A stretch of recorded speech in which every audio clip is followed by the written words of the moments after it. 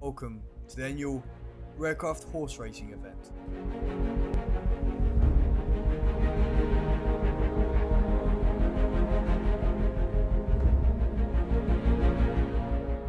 This is the course, this is the showdown, this is where it happens.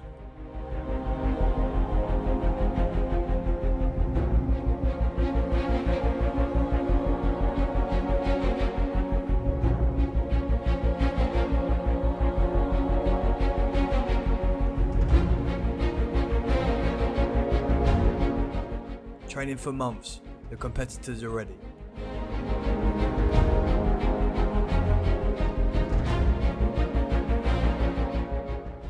Who will win and who will lose, they decide. But first, let's see what the crowd thinks. Donkey's the winner! Get out of here! Get out of here, you! Next, the betting odds. It's a great day here, but obviously the donkey's going to be 500 to 1. Obviously, the big upset is last winner's Cactus Man. He used drug induced carrots, and obviously, he can't compete this year. As for everyone else, it's pretty even on 20 to 1, with Elite Gen on 2 to 1. I need Cobble! And the crowd are loving this. They are ready.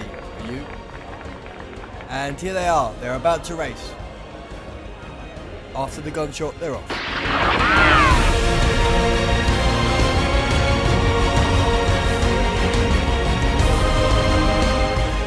And it looks like Elite Gen's well ahead. Oh, and all the others are trying to catch him up, but they can't.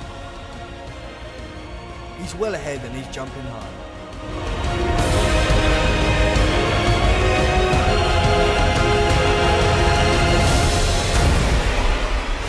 Let's go to the other races on the course.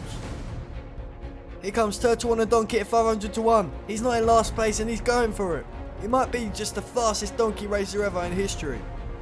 And at the front of the race, his speed, his pace, no one can keep up with him today. It's Elite Gen holding the front.